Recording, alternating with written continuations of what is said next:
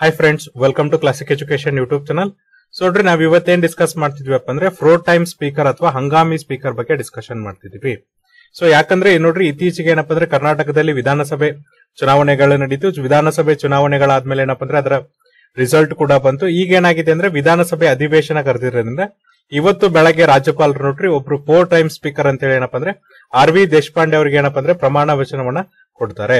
ಹಾಗಾದ್ರೆ ಏನಿದು ಹಂಗಾಮಿ ಸ್ಪೀಕರ್ ಮತ್ತೆ ಫ್ರೋ ಟೈಮ್ ಸ್ಪೀಕರ್ ಅಂದ್ರೆ ಫಸ್ಟ್ ಆಫ್ ಆಲ್ ನೋಡ್ರಿ, ಈ ಒಂದು ಫ್ರೋ ಟರ್ಮ್ ಅನ್ನೋ ಒಂದು ವರ್ಡ್ ಎಲ್ಲಿಂದ ಬಂದಿದೆ ಅಂದ್ರೆ ಲ್ಯಾಟಿನ್ ಶಬ್ದದಿಂದ ಬಂದಿದೆ. ಹಾಗಾದ್ರೆ ಈ ಶಬ್ದದ ಒಂದು ಮೀನಿಂಗ್ ಏನು, ಅರ್ಥ ಏನಪ್ಪಾ ಅಂದ್ರೆ ಫ್ರೋ ಟೈಮ್ ಅಂದ್ರೆ ನೋಡ್ರಿ ಫಾರ್ ದ ಟೈಮ್ ಬೀಯಿಂಗ್ ಅಂತ. ಅಂದ್ರೆ ಆಗಿನ ಒಂದು ಸಮಯದ ಮಟ್ಟಿಗೆ ಅಥವಾ ಆಗಿನ ಒಂದು ಏನಪ್ಪ ಅಂದ್ರೆ ವೇಳೆಯ ಮಟ್ಟಿಗೆ, ಆಗಿನ ಒಂದು ಸಮಯದ ಮಟ್ಟಿಗೆ ಫಾರ್ ದ ಟೈಮ್ ಬೀಯಿಂಗ್ ಅಂತ ನಾವ್ ಇದನ್ನ ಕರಿತೀವಿ. ಸೊ ನೋಡ್ರಿ, ಈಗ ಕರ್ನಾಟಕದಲ್ಲಿ ಏನ್ ಮಾಡಿದಾರೆ ಅಂದ್ರೆ ನಮ್ಮ ರಾಜ್ಯಪಾಲರಾದಂತ ತಾವರ್ ಚಂದ್ ಗೆಹ್ಲೋಟ್ ಅವರು ಏನಪ್ಪಾ ಅಂದ್ರೆ ಆರ್ ವಿ ದೇಶಪಾಂಡೆ ಅವ್ರಿಗೆ ಏನಪ್ಪಾ ಅಂದ್ರೆ ಹಂಗಾಮಿ ಸ್ಪೀಕರ್ ಆಗಿ ಇವತ್ತು ಪ್ರಮಾಣ ವಚನವನ್ನ ಕೊಟ್ಟಿದ್ದಾರೆ. ಹಾಗಾದ್ರೆ ಯಾಕೆ ಪ್ರೋ ಟೈಮ್ ಸ್ಪೀಕರ್ ಬೇಕು ಅಂತಂದ್ರೆ ನೋಡ್ರಿ. ಈಗ ಏನಪ್ಪಾ ಅಂದ್ರೆ ಪ್ರತಿಯೊಂದು ಲೋಕಸಭೆ ಅಥವಾ ಏನಪ್ಪಾ ಅಂದ್ರೆ ವಿಧಾನಸಭೆ ಎಲೆಕ್ಷನ್ಸ್ ಆದ್ಮೇಲೆ ಅಥವಾ ಪ್ರತಿಯೊಂದು ಲೋಕಸಭೆ ಮತ್ತೆ ವಿಧಾನಸಭೆ ಚುನಾವಣೆ ಆದ್ಮೇಲೆ ನೋಡ್ರಿ ಈ ಒಂದು ವಿಧಾನಸಭೆ ಮತ್ತೆ ಲೋಕಸಭೆ ಚುನಾವಣೆ ಆದ್ಮೇಲೆ ಏನಪ್ಪಾ ಅಂದ್ರೆ ಯಾವಾಗ ಫಸ್ಟ್ ಅಧಿವೇಶನ ಬರುತ್ತೆ? ಅಂದ್ರೆ ವಿಧಾನಸಭೆದಿರಬೇಕು ಲೋಕಸಭೆದ ಏನಪ್ಪಾ ಅಂದ್ರೆ ಫಸ್ಟ್ ಅಧಿವೇಶನ ಬರುತ್ತಲ್ಲ, ಆ ಅಧಿವೇಶನಕ್ಕಿಂತ ಮುಂಚೆ ಅಥವಾ ಇಮಿಡಿಯೇಟ್ ಆಗಿ, ಅಂದ್ರೆ ಅಧಿವೇಶನ ಬರುತ್ತಂದ್ರೆ ಅದಕ್ಕಿಂತ ಮುಂಚೆ ಏನಾಗತ್ತಪ್ಪ ಅಂದ್ರೆ, ಈ ಸ್ಪೀಕರ್ ಅನ್ನೋರು ಏನ್ ಮಾಡ್ತಾರಪ್ಪ ಅಂದ್ರೆ, ತಮ್ಮ ಆಫೀಸ್ ಅನ್ನ ವೆಕೆಟ್ ಮಾಡ್ತಾರೆ. ಅಂದ್ರೆ, ವಿಧಾನಸಭೆ ಅಧಿವೇಶನ, ಲೋಕಸಭೆ ಅಧಿವೇಶನಕ್ಕಿಂತ ಮುಂಚೆ ತಮ್ಮ ಆಫೀಸ್ ಅನ್ನ ಏನ್ ಮಾಡ್ತಾರಪ್ಪ ಅಂದ್ರೆ ವೆಕೆಟ್ ಮಾಡ್ತಾರೆ. ಹಾಗಾಗಿ ಅಲ್ಲೊಬ್ರು ಸ್ಪೀಕರ್ ಬೇಕಾಗತ್ತೆ. ಹಾಗಾಗಿ ನೋಡ್ರಿ ಫಾರ್ ದ ಟೈಮ್ ಬೀಯಿಂಗ್ ಅಂದ್ರೆ ಆಗಿನ ಒಂದು ಸಮಯದ ಪೂರ್ತಿಗೆ ನಾವೇನ್ ಮಾಡ್ತೀವಪ್ಪ ಅಂದ್ರೆ ಹಂಗಾಮಿ ಸ್ಪೀಕರ್ ಅನ್ನ ಸೆಲೆಕ್ಟ್ ಮಾಡ್ತೀವಿ. ಹಾಗಾದ್ರೆ ಯಾವ ಆರ್ಟಿಕಲ್ ಅಲ್ಲಿ ಕೊಟ್ಟಿದೆ ಅಂದ್ರೆ article ninety one class C ಅಲ್ಲಿ ಏನಪ್ಪ ಅಂದ್ರೆ ಇದನ್ನ ಕೊಟ್ಟಿದ್ದಾರೆ. Article ninety five class one ಅಲ್ಲಿ ಏನಪ್ಪ ಅಂದ್ರೆ ಈ ಫೋರ್ ಟೈಮ್ ಸ್ಪೀಕರ್ ಬಗ್ಗೆ ಕೊಟ್ಟಿದ್ದಾರೆ. ಸಾರಿ ನೋಡ್ರಿ article ninety five class one ಅಲ್ಲಿ ಏನಪ್ಪ ಅಂದ್ರೆ ಈ ಒಂದು ಪ್ರೋ ಟೈಮ್ ಸ್ಪೀಕರ್ ಬಗ್ಗೆ ಕೊಟ್ಟಿದ್ದಾರೆ. ಪ್ರತಿಯೊಂದು ಜನರಲ್ ಎಲೆಕ್ಷನ್ಸ್ ಆದ್ಮೇಲೆ, ಅಂದ್ರೆ ಜನರಲ್ ಅಂದ್ರೆ ಲೋಕಸಭೆ ಎಲೆಕ್ಷನ್ಸ್ ಆದ್ಮೇಲೆ ಆಮೇಲೆ ಏನಪ್ಪ ಅಂದ್ರೆ ಪ್ರತಿಯೊಂದು ವಿಧಾನಸಭೆ ಎಲೆಕ್ಷನ್ಸ್ ಅಥವಾ ನಾವೇನ್ ಹೇಳ್ಬೋದು ಅಂದ್ರೆ ವಿಧಾನಸಭೆ ಎಲೆಕ್ಷನ್ಸ್ ಆದ್ಮೇಲೆ ಏನಪ್ಪ ಅಂದ್ರೆ ಗವರ್ನರ್ ಅಥವಾ ಪ್ರೆಸಿಡೆಂಟ್ ಏನ್ ಮಾಡ್ತಾರಪ್ಪ ಅಂದ್ರೆ ಈ ತರದ ಪ್ರೋ ಟೈಮ್ ಸ್ಪೀಕರ್ ಅನ್ನ ಅಪಾಯಿಂಟ್ ಮಾಡ್ತಾರೆ. ಸೊಡ್ರಿ, ಕೇಂದ್ರ ಸರ್ಕಾರ ಆಗಿದ್ರೆ ಇಲ್ಲಿ ನಮಗೆ ಪ್ರೋ ಟೈಮ್ ಸ್ಪೀಕರ್ ಯಾರು ಓತನ್ನ ಕೊಡ್ತಾರೆ, ಪ್ರಮಾಣ ವಚನವನ್ನ ಬೋಧಿಸ್ತಾರಪ್ಪ ಅಂದ್ರೆ ಪ್ರೆಸಿಡೆಂಟ್ ಅಥವಾ ನಾವೇನ್ ಹೇಳ್ಬೋದು ಅಂದ್ರೆ ರಾಷ್ಟ್ರಪತಿಗಳು ಪ್ರಮಾಣ ವಚನವನ್ನ ಬೋಧಿಸ್ತಾರೆ. ಅದೇ ನೋಡ್ರಿ, ರಾಜ್ಯ ಆಗಿತ್ತಂದ್ರೆ ಅಥವಾ ಈಗ ವಿಧಾನಸಭೆ ಆಗಿತ್ತಂದ್ರೆ ಅಲ್ಲಿ ಯಾರಪ್ಪ ಅಂದ್ರೆ ಗವರ್ನರ್ ಅವರು ಅಥವಾ ರಾಜ್ಯಪಾಲರು ಏನ್ ಮಾಡ್ತಾರಪ್ಪ ಅಂದ್ರೆ ತಮ್ಮ ಓತ್ ಅಥವಾ ಪ್ರಮಾಣ ವಚನವನ್ನ ಬೋಧಿಸ್ತಾರೆ.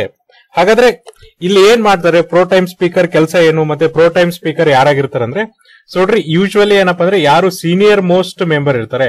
ಅಂದ್ರೆ ಆ ಸದನದ ಯಾರು ಏನಪ್ಪ ಅಂದ್ರೆ ಸೀನಿಯರ್ ಮೋಸ್ಟ್ ಮೆಂಬರ್ ಇರ್ತಾರೆ ಅಥವಾ ಅತಿ ಹಿರಿಯರಾದಂತ ಸದಸ್ಯರನ್ನ ಏನ್ ಮಾಡ್ತಾರಪ್ಪ ಅಂದ್ರೆ ಪ್ರೋ ಟೈಮ್ ಸ್ಪೀಕರ್ ಅಂತೇಳಿ ಸೆಲೆಕ್ಟ್ ಅನ್ನ ಮಾಡ್ತಾರೆ. ಹಾಗಾದ್ರೆ ಪ್ರೋ ಟೈಮ್ ಸ್ಪೀಕರ್ ಕೆಲಸಗಳೇನು? ಯಾಕೆ ಇವ್ರನ್ನ ನಾವು ಸೆಲೆಕ್ಟ್ ಮಾಡ್ತೀವಿ? ಹಂಗಾಮಿ ಸ್ಪೀಕರ್ ಕೆಲಸಗಳೇನಂದ್ರೆ ನೋಡ್ರಿ ಫಸ್ಟ್ ಆಫ್ ಆಲ್ ಏನಪ್ಪಾ ಅಂದ್ರೆ ಹೊಸದಾಗಿ ಬಂದ ವಿಧಾನಸಭೆ ಅಥವಾ ಲೋಕಸಭೆಯ ಸದಸ್ಯರಿಗೆ ಏನ್ ಮಾಡ್ಬೇಕಪ್ಪ ಅಂದ್ರೆ ಪ್ರಮಾಣ ವಚನವನ್ನ ಕೊಡುವುದು. ಸೊ ಇವರ ಮೊದಲ ಕಲಕ್ಷ ಏನಿರುತ್ತಪ್ಪ ಅಂದ್ರೆ ಯಾರು ಲೋಕಸಭೆಗೆ ಬಂದಿರ್ತಾರೆ ಮತ್ತೆ ಯಾರು ವಿಧಾನಸಭೆಗೆ ಸದಸ್ಯರು ಬಂದಿರ್ತಾರಲ್ಲ, ಆ ಒಂದು ವಿಧಾನಸಭೆಯ ಸದಸ್ಯರಿಗೆ ಮತ್ತೆ ಲೋಕಸಭೆಯ ಸದಸ್ಯರಿಗೆ ಏನಪ್ಪಾ ಅಂದ್ರೆ ಪ್ರಮಾಣ ವಚನ ಸ್ವೀಕರಿಸುವುದು ಮತ್ತೆ ಪ್ರಮಾಣ ವಚನ ಸ್ವೀಕರಿಸುವಂತ ಏರ್ಪಾಡನ್ನ ಏನಪ್ಪಾ ಅಂದ್ರೆ ಪ್ರೋ ಟೈಮ್ ಸ್ಪೀಕರ್ ಮಾಡ್ತಾರೆ. ಅದೇ ತರನ ನೋಡ್ರಿ, ಎರಡನೇ ಕೆಲಸವನ್ನು ಇವ್ರು ಏನ್ ಮಾಡ್ತಾರಪ್ಪ ಅಂದ್ರೆ ಸ್ಪೀಕರ್ ಮತ್ತೆ ಡೆಪ್ಯೂಟಿ ಸ್ಪೀಕರ್ ಎಲೆಕ್ಷನ್ಸ್ ಅಲ್ಲಿ ಏನಪ್ಪಾ ಅಂದ್ರೆ ಸಹಾಯವನ್ನ ಮಾಡ್ತಾರೆ. ಸೊ ಇವರು ಸ್ಪೀಕರ್ ಮತ್ತೆ ಡೆಪ್ಯೂಟಿ ಸ್ಪೀಕರ್ ಏನಿರ್ತಾರಲ್ಲ ಅವರ ಒಂದು ಚುನಾವಣೆಯನ್ನು ಇವ್ರು ಏನ್ ಮಾಡ್ತಾರಪ್ಪ ಅಂದ್ರೆ ಕಂಡಕ್ಟ್ ಅನ್ನ ಮಾಡ್ತಾರೆ. ನೆಕ್ಸ್ಟ್ ಏನಪ್ಪ ಅಂದ್ರೆ ಸ್ಪೀಕರ್ ಮತ್ತೆ ಡೆಪ್ಯೂಟಿ ಸ್ಪೀಕರ್ ದೇವರು ಚುನಾವಣೆಯನ್ನ ಕಂಡಕ್ಟ್ ಮಾಡ್ತಾರೆ.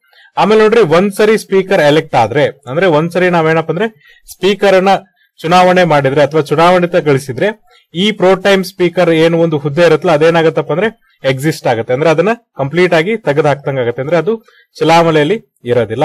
ನಾಲ್ಕನೇದಾಗಿ ನೋಡ್ರಿ ಇವ್ರು ಏನ್ ಮಾಡುವಂತ ಇನ್ನೊಂದು ಅಧಿಕಾರ ಇರುತ್ತೆ. ಅಂದ್ರೆ ಫ್ಲೋ ಟೆಸ್ಟ್ ಅನ್ನ ಅಡ್ಮಿನಿಸ್ಟರ್ ಮಾಡುವಂತ ಅಧಿಕಾರನೂ ಇರುತ್ತೆ. ಇನ್ ಕೇಸ್ ನೋಡ್ರಿ ಈಗ ಹಂಗ್ ಅಸೆಂಬ್ಲಿ ಆಗಿದ್ರೆ ಫಾರ್ ಎಕ್ಸಾಂಪಲ್ ಏನಪ್ಪ ಅಂದ್ರೆ ಎರಡ್ ಸಾವಿರದ ಹದಿನೆಂಟರದ್ದು ನೀವೇನಪ್ಪ ಅಂದ್ರೆ ಒಂದು ಚುನಾವಣೆಯನ್ನ ತೆಗೆದುಕೊಂಡ್ರೆ ಅವಾಗ ಏನಪ್ಪ ಅಂದ್ರೆ ಕರ್ನಾಟಕದಲ್ಲಿ ಯಾರಿಗೂ ಕೂಡ ಏನಪ್ಪ ಅಂದ್ರೆ ಪ್ರಕಟವಾದ ಒಂದು ಏನಪ್ಪ ಅಂದ್ರೆ ಬಹುಮತ ಸಿಕ್ಕಿದ್ದಿಲ್ಲ. ಆ ಒಂದು ಸಂದರ್ಭದಲ್ಲಿ ಏನಪ್ಪ ಅಂದ್ರೆ ಪ್ರೋ ಟೈಮ್ ಸ್ಪೀಕರ್ ಏನ್ ಮಾಡ್ಬೋದು ಅಂದ್ರೆ ಯಾರು ಮುಖ್ಯಮಂತ್ರಿಯಾಗಿ ಪ್ರಮಾಣ ವಚನ ತಗೊಂಡಿರ್ತಾರಲ್ಲ, ಅವ್ರು ಏನ್ ಮಾಡ್ಬೋದಪ್ಪ ಅಂದ್ರೆ ಅವರ ಪರವಾಗಿ ಅಥವಾ ಅವ್ರ ವಿರುದ್ಧವಾಗಿ ಯಾರಾದ್ರೂ ನೋ ಕಾನ್ಫಿಡೆನ್ಸ್ ಮೋಷನ್ ಅನ್ನ ಪಾಸ್ ಮಾಡಿದ್ರೆ, ಆ ನೋ ಕಾನ್ಫಿಡೆನ್ಸ್ ಮೋಷನ್ ಈಗ ನೋಡ್ರಿ ಅವ್ರ ಏನ್ ಮಾಡ್ಬೋದು ಅಂದ್ರೆ ನೋ ಕಾನ್ಫಿಡೆನ್ಸ್ ಮೋಷನ್ ಅನ್ನ ಕಂಡಕ್ಟ್ ಮಾಡ್ಬೋದು. ಅಂದ್ರೆ ಈ ಒಂದು ಸದನ ಸದಸ್ಯ ಬಲವನ್ನ ಹೊಂದಿದೆಯೋ ಇಲ್ವೋ, ಈ ಒಂದು ಸರ್ಕಾರಕ್ಕೆ ಸದಸ್ಯರ ಸಂಖ್ಯೆ ಇಲ್ಲ ಇದೆ ಅನ್ನೋದನ್ನ ಏನಪ್ಪ ಅಂದ್ರೆ ಫ್ಲೋ ಟೆಸ್ಟ್ ಅನ್ನ ಯಾರು ಕಂಡಕ್ಟ್ ಮಾಡ್ತಾರಪ್ಪ ಅಂದ್ರೆ ಫ್ಲೋ ಟೈಮ್ ಸ್ಪೀಕರ್ ಅವರು ಕಂಡಕ್ಟ್ ಮಾಡ್ತಾರೆ. ಸೊ ನೋಡ್ರಿ, ಇದಿಷ್ಟು ಮಾಹಿತಿ ನಿಮ್ಗೆ ಏನಪ್ಪ ಅಂದ್ರೆ ಪ್ರೋ ಟೈಮ್ ಸ್ಪೀಕರ್ ಬಗ್ಗೆ ಗೊತ್ತಿರಬೇಕಾಗಿದ್ದು, ಯಾಕಂದ್ರೆ ನೆಕ್ಸ್ಟ್ ಲೋಕಸಭೆ ಎಲೆಕ್ಷನ್ಸ್ ಆದ್ಮೇಲೂ ಕೂಡ ಏನಪ್ಪಾ ಅಂದ್ರೆ, ಅಲ್ಲೂ ಕೂಡ ಹೊಸದಾದಂತಹ ಪ್ರೋ ಟೈಮ್ ಸ್ಪೀಕರ್ ಬರ್ತಾರೆ.